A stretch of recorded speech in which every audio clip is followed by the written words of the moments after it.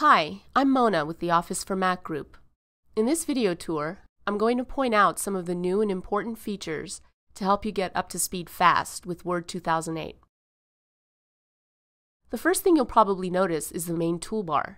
It's been redesigned to show the buttons you use the most, like Open, Save, Print, and Undo, as well as a few new ones, like this one, which displays the row of tabs known as the Elements Gallery.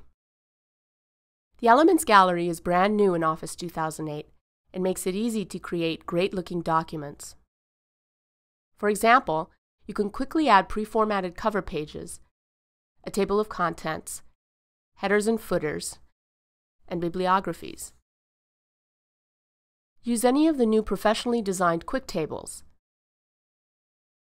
or add word art to give text a graphical look. By the way, the Elements gallery in Word appears in blue, just like the Word logo, which makes it easy to know that you're in Word when switching between Office applications. The toolbox has also been updated in Office 2008. It now gives you a single access point for tools like the formatting palette, scrapbook, and reference tools, so you don't have to spend a lot of time managing different windows. It also includes the new Object palette, where you can preview clip art, images, and symbols, and quickly add them to any document. You can see that the toolbox updates to show the most appropriate tools depending on what you've selected in a document. For example, select a picture and you get picture-related tools. Select text and the toolbox shows text-related options. Here on the back of the toolbox, you can change the toolbox settings like hiding any of the panels. And if you want to hide the toolbox while you work, just click this button. If you've used Word before, you probably know that there are different document views that you can work in. There's Print Layout View, which I'm in now, for authoring standard documents and professional reports.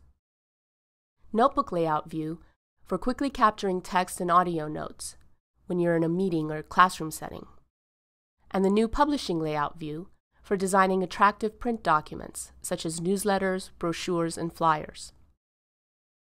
You can switch between any of these views from here on the View menu. Both the toolbox and the main toolbar have options appropriate for the view that you're working in. For example, in these meeting notes, viewed in Notebook Layout view, there's the audio toolbar for recording lecture or meeting notes directly in the notebook. While in this newsletter, viewed in Publishing Layout View, there's a Zoom Loop tool if you want to get a closer look at the layout.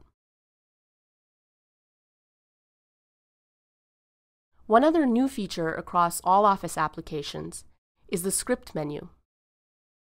From here, you can add your own scripts or run Automator workflows created specifically for Word, like this one to add password protection and a watermark.